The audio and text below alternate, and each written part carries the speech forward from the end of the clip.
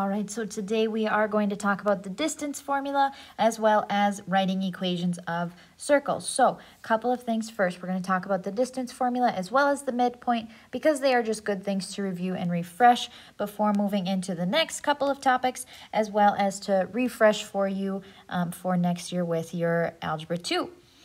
So for our distance formula, we use the distance formula to find the distance between two points. And we'll label them x1, y1, x2, y2, just like when we were trying to find slope before. Now, you can either write the distance formula as the distance is the square root, it's a long one, of x2 minus x1 squared plus y2 minus y1 squared and it's all under that one square root.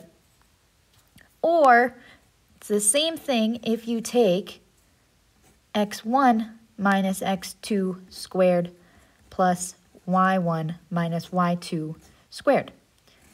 It's really up to you on which format you want to use for that, but know that they are the same thing as long as you are putting the second first or the first point first does not matter as long as you are following the same format for both the x's being subtracted and the y's being subtracted. So let's just talk real quick through one of these examples. Uh, first thing, I'll just do the one that's on the graph here. If you want to try out these other ones, I will be posting the notes sheets key for you, so you can always do that later.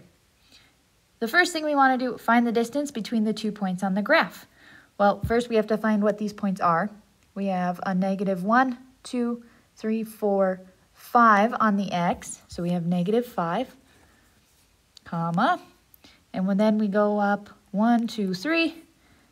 So negative 5, 3 for our first point. And our second point, we only come over negative 2 on the x. And then we have down 1, 2, 3. So negative 2, negative 3 for this here point. So now for distance, we're going to have the distance of our x2, so that's negative 2, negative 2 minus our x1, which is negative 5.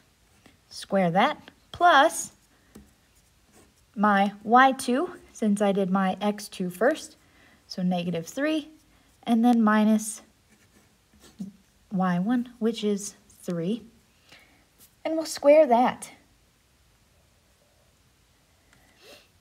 So now our distance equals the square root of, well, negative 2 minus a negative 5. That becomes plus a positive. So negative 2 plus 5 will give me 3 squared plus negative 3 minus 3 will give me a negative 6 squared. Now I can square both of these numbers 3 squared will give me 9, and 6 squared will give me a positive 36. Even though it's negative, I'll end up multiplying two negatives together to get a positive. So this is distance equals, adding 9 and 36, the square root of 45. I know that's going to be something along the lines of uh, 6 point something, but let's put in our calculator here and get the exact measurement. Second square root same thing as the square, but it's our second function to get the little yellow option there. And 45.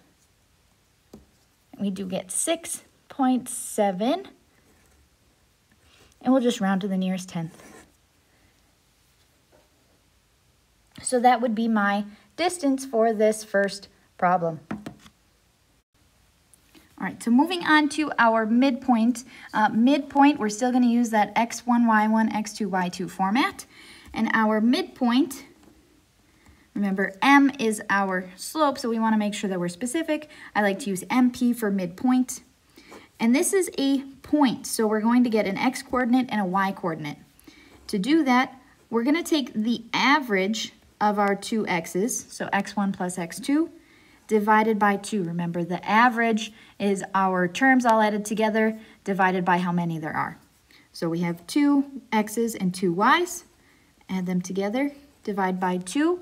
We'll get something out from this that will be an x MP and a y MP. So we'll get a new coordinate point when we do these examples. So if we want to find the midpoint of the segment GH, we have G, we have H, 5, uh, sorry, 7, negative 5, so x1, y1. And H is our x2, y2 with 9 and negative 1.